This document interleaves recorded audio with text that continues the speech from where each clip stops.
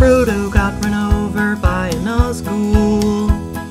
Walking home from Mordor last for Yule.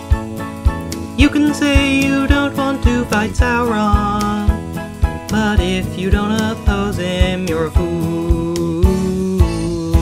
He'd been bearing the ring too long, and was so near the Mount of Fire that he slipped away from Samwise, and he started the long trek back to the Shire. When we found him Yule Day morning, at the scene of the attack, there were ring marks on his finger, and nine long Morgul knives in his back. In his back!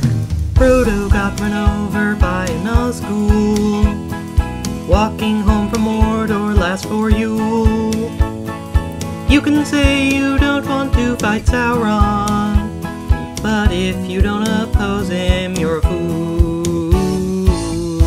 And we're all so proud of Gandalf.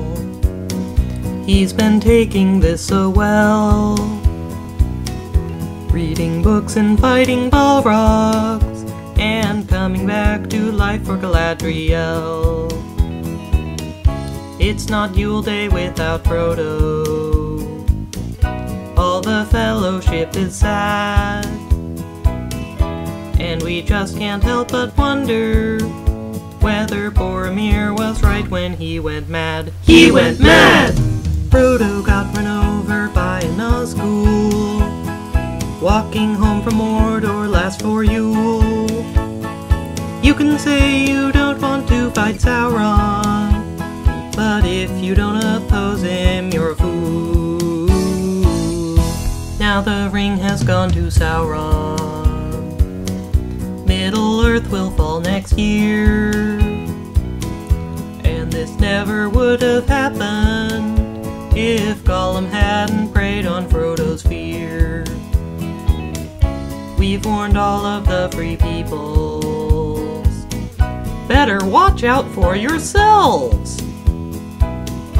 Sauron's coming for your country, and you won't get any more help from the elves. From the elves!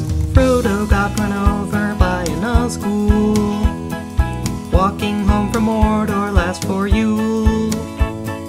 You can say you don't want to fight Sauron, but if you don't oppose him, you're a fool. Sing it, Gimli. Frodo got run over by a Nazgul, walking home from Mordor last for Yule. You can say you don't want to fight Sauron, but if you don't oppose him, you're a fool.